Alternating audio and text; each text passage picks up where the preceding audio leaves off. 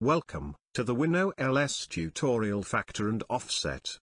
Often the values stored in the hardware have to be converted before they can be used.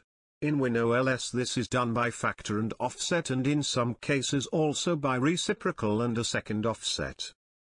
In the context menu of the axes you will find some fixed default values as well as many user-definable values.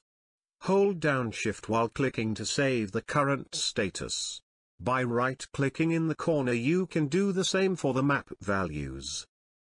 In the map properties, you can enter the values individually manually, or you can also call up or save standard values or user-defined values. You can also use the formula button to convert different types of source values into the WinOLS notation.